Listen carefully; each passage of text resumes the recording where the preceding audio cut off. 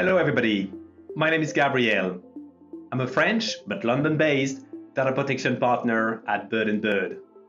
Today, I am joined by my colleague Katja from our Danish office. Hi, Katja. Hello. For Hi. a podcast looking at the GDPR. And we want to do here a sort of a backward and forward looking session. First, by looking at what has been the trends for the past three years of GDPR operation? And second, what do we see in the horizon? What do we see in the future?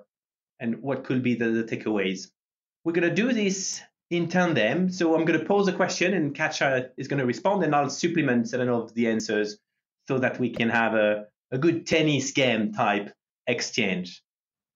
So looking at the past first. As you know, 25th of May is the birthday anniversary of GDPR, and um, it will be three years of um, the new world, the new rules um, that um, we now have. With that in mind, uh, I wanted to ask you, Katja, what do you think of um, the three years of GDPR activities, and what are, from your perspective, uh, the, the, the, key trends that we um, should be discussing about? Thank you, Gabriel. Well, it's certainly been an exciting three years period. There's a lot of new case law from European Court of Justice, and we've seen a lot of new guidelines from EDPB. Uh, I think for me, one of the key points to, to look back at is really where we are with enforcement. Um, one of the primary goals with GDPR was really to harmonize data protection laws and also to harmonize uh, enforcement across uh, the EU member states. So, uh, looking back, I think that's quite crucial where we are with that. Um, and, and interestingly, the past year we've actually seen a high increase in the number of fines across all member states. Actually, more than half of the total number of fines post GDPR have been imposed for the past year, and that also goes for, for the value of the fines. So that's really a trend we've seen. So from a very slow beginning, we're really seeing that the local data protection agencies are are now beginning to enforce GDPR uh, in, a, in a different mm. manner. But interestingly, there are substantial differences. We are not fully harmonized yet. You have countries like Spain, Italy, Germany, and France who have issued a high number of fines at a very high le- level uh, of, of, of, value. Uh, whereas other countries have only issued a few fines and with a with a lot less uh, value. So we are certainly not harmonized uh, in respect of uh, enforcement. Uh, when looking at trends, so what can we take from the past three years in, in respect of enforcement? You can see that generally organizations are, are fined for a breach of four uh, um, clauses in, in GDPR. It's either failure to comply with the transparency principle, lack of legal basis, uh, uh, lack of deletion of data or also that the organization have not implemented adequate security measures those are really the main causes for uh, for imposing fines across all eu member states another trend which i think is quite interesting because the fine level in gdpr is, is quite high but you can actually see the local data protection agencies are reluctant to impose the, the highest fines possible uh, we can, of course, only guess uh, why uh, this is the case. Uh, maybe it's because uh, the authorities are still testing their powers. Maybe it's because uh, of the risk of appeals, because we do see a, as a trend here more and more organizations are appealing and they're actually being successful in, in appealing. So, in cases the fi- fines have been totally cancelled, or many fines have simply been reduced quite substantially. You have, as an, as an example, Marriott, they were fined almost 100 million euro. That fine was reduced to uh, 14 million euro. So this is also a trend we the organizations are appealing and they're being successful in appealing. Mm.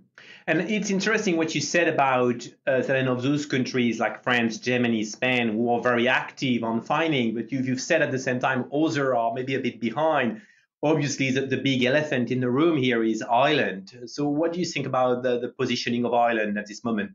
I guess there, there is a reason that Ireland is called the Bermuda Triangle of GDPR because they are in fact receiving a lot of complaints, uh, the ISDPA, but they are only uh, handling one of percent that, that, that leads to a, a, a decision. So so I mean there are the criticism of the ISDPA at the moment not being very effective And we're also hearing rumors that they lack resources.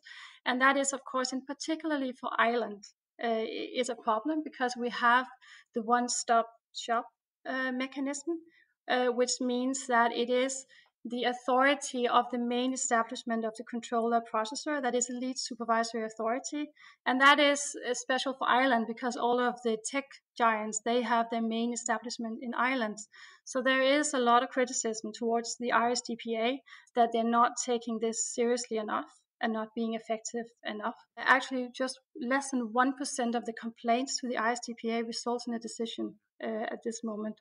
And I guess it's also why we're seeing that other local DPAs are now trying to argue that actually we're not, if, if they receive a complaint, it's not subject to the one stop shop mechanism because they would rather handle the complaint themselves. A good example is CNIL in the Google case. Uh, you also have ICO in UK. They have taken the same stand because they're not fully satisfied with the effectiveness of, of, of the enforcement actions of the ISDPA. Mm. Thank you. And, and for those listening this uh, podcast and who, who, may disagree with this view, as well because they are Irish or, or have Irish interest, do do let us know. Drop us a line. We'll hear. We'd love to hear from you.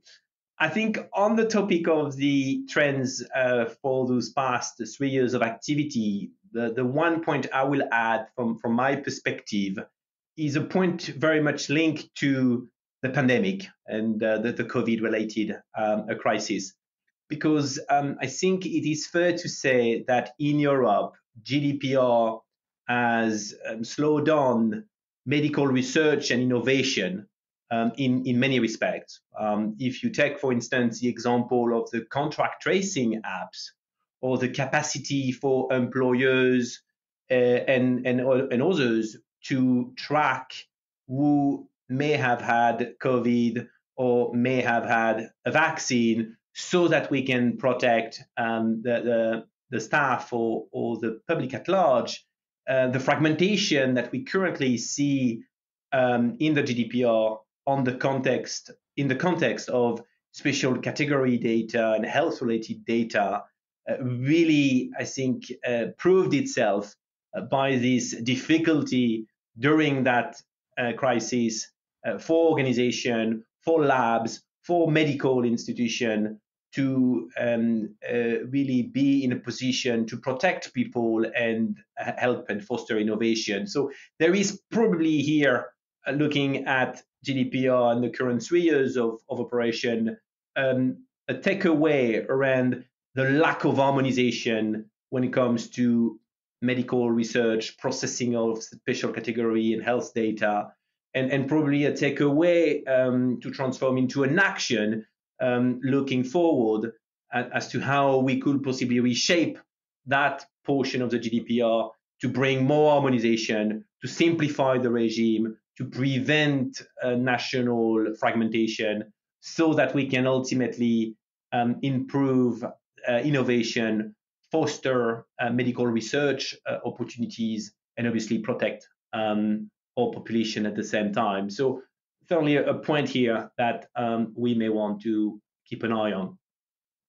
Okay, well, that's about the past, but enough about the past. Look at the future because we, we want to be optimistic, we want to be forward looking. So, you know, GDPR is not going to go away, it's probably here to stay. So, what are, from your perspective, Katja, the, the things in the radar, the, the key uh, elements we, we should be aware of and for the months and years to come? Well, I think it would be hard to uh, to look forward without mentioning data transfers.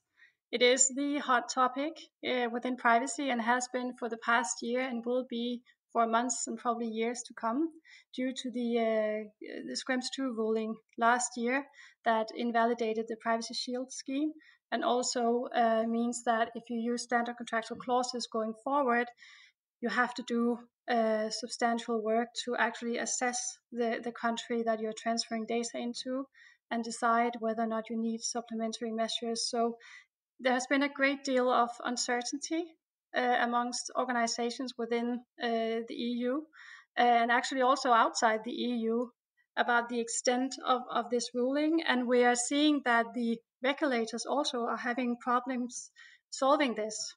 the guidelines that, EP, that EDPB uh, issued or sent out in hearing last year, well, they still haven't been finalized. There were so many hearing responses because this is, of course, crucial for so many organizations within the EU that they can transfer data lawfully outside of, of the EU. Uh, so, so while we are still waiting for, for guidelines on this, uh, we can see that uh, companies, organizations across uh, Europe, they are trying their best to perform a risk assessment or, or to reach out to data processors. But I can see that in particularly in contract negotiations the past year and, and, and until we, we, we are fully aligned with what EDPB wants uh, in respect of supplementary measures, it's, it's actually quite difficult to, uh, to, to negotiate data transfers right now and will be in the years to come because we simply are not we don't know what to regulate. We're still waiting for guidance uh, on this. Um, so, uh, and once we have the guidance, well, then organization will have to implement it if it is if it is possible. Because the guidance we've seen so far, well, it presumes that you can you you can encrypt the data or somehow makes the data on inaccessible to the recipient in the third country. But there are a lot of data transfers where you need access. You need to see the data in, in clear text. And we don't really have any solutions to that. So, um, so that would be interesting to see going mm. forward and also in the final EPP guidelines if there are offered any solutions to this. We are also waiting for the Commission's uh, final standard contractual clauses which will of course also mean a lot of work for organizations around uh, Europe uh, because you have at least in a draft uh, one year to uh, to uh, to uh, to to use the new standard contractual clauses. So there will be a lot of work just entering into new model clauses with all your data importers. So for sure, third country transfers will remain a hot topic mm. going yeah. forward. No, I, I agree with that, and, and certainly although it will be a bit of a burdensome and administrative paperwork exercise for many of our uh, of the podcast, it is unfortunately what is going to be expected from from organization um, going forward. I know you have a second thought, but because it's um, related to e-privacy, I just wanted to interject and, and insert one in the context of uh, GDPR.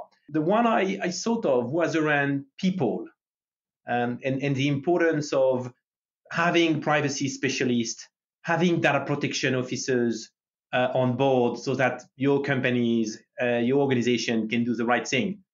I think here there is a big HR point that we, we can we, we can share with you looking forward, um, which is around um, the fact that those people are in demand. Um, a lot of organizations at this moment want to in-house privacy expertise, wants to be able to have dedicated uh, individuals looking after the, the topic.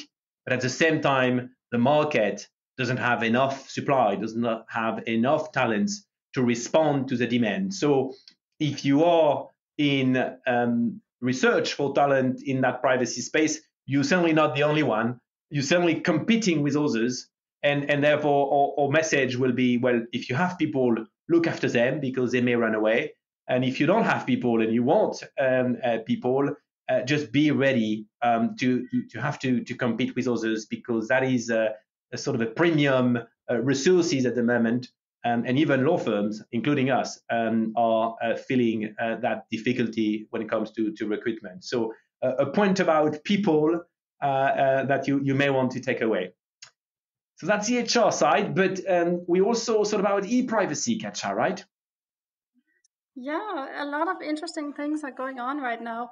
Just in general, I think cookies will well it is already a hot topic and it will continue to be a hot topic. We've had for the past year two years had a lot of clarification both from local data protection agencies also EDPB we can see now that local data protection agencies are starting to enforce the cookie rules and are performing investigations of websites uh, to, to ensure compliance with the cookie rules. On top of that, as we mentioned, we have the e-privacy regulation. It's been four years undergoing now. Maybe we are at the end of the line now. Well, there is at least a draft now proposed uh, by the EU Council, and the draft will now go into trilogue negotiations, and hopefully uh, will manage to uh, to uh, to finalize it uh, this time around. As with GDPR, the e-privacy regulation will replace a current directive to make sure that the rules are harmonized, uh, and also because the current directive is outdated. Um, the fines, uh, I think, quite interesting, is the same in, in the draft regulation as in GDPR. So uh, for sure, we'll see at the I think a new wave once, hopefully this time around, we'll have uh, the regulation because uh, non-compliance will will certainly hurt uh, when you apply the GDPR fines uh, also to to e-privacy mm. regulation. Mm. Um, as with GDPR, there will be a two year grace period. So let's just say that they will finalize the regulation this year. There will be a two year grace period before you actually have to comply with the uh, the regulation. So so that all the European companies organizations will have time to to adjust. So that would be very interesting to follow uh, this negotiation and finger crossed that I think the four is this the 14 drafts or 14 times? Oh, Maybe I don't know. The... I have stopped counting for sure because uh, there've been so many. so fingers crossed, as as exactly. you have you as you said and, and showed on the image. I, I, I think it's clearly um, an highly anticipated text, which will possibly trigger a lot of uh, rethinking um, when we see a final product. So the question is, when are we going to see this final product? Hopefully soon but clearly based on what you said and the the, the, the fact that there will be a two years possible um, uh, delay before entry into force of the, the, the, rules it's a sort of a medium term horizon item so you know look for something in 2023 possibly um, is, is a key mm. key message well with that and, and possibly to, to wrap up um, while we are on the topic of reform uh, and reform meaning the, the gdpr and the privacy well, certainly on the GDPR, um, there is, I think, also um, a, a, valid question uh, being posed to us as to whether or not um, it, it, should be also something that Brussels may want to be to be thinking about. Um, you may have heard from uh, my um, sort of uh, so-so uh, point about the medical research um, and, and the slowdown of um, innovation opportunities that GDPR can sometimes um, uh, uh, permit or create, uh, that I'm a bit in favor of that. But I think others in that space feel the same. It was interesting, for instance, to know that um, Axel Voss, one of the very prominent member of the European Parliament behind uh, the GDPR uh, drafting, um, is, uh, for instance, one of those uh, Brussels um, stakeholders who uh, went on record um, and, and, clearly um, expressed a view that indeed it was probably a time for Brussels to think about um, some adjustments. We, we're not talking and we're not calling for a complete redraft. I think that that will be too ambitious, that will be wrong, that will be also too costly. But but certainly some adjustments in certain of the chapters on things like um, medical research or possibly uh, data transfers. Why not? Uh, could be could be welcome and and may give some uh, ideas to our um, lawmakers um, when um, the time has come. So. Uh, probably also something that um, we may want to to encourage. We may want to to keep an eye on to to see if ultimately it materializes. Right we are at the end of this podcast. I should have brought a birthday cake because I'm conscious that we are celebrating the three years of anniversary of the GDPR. But no cake for me, no cake for you, Katja, today. But I'm sure there will be other opportunities. We hope you enjoy this podcast with us. Um, if you are on LinkedIn, we have an official Bird and Bird privacy page, which we all encourage you to follow. Otherwise, more than welcome to connect and exchange ideas with you guys over the phone, over email, or any other social media uh, platforms and channels you have. It was a pleasure to have you with us. Let's stay in touch. Thanks for having me on this podcast. Thank you.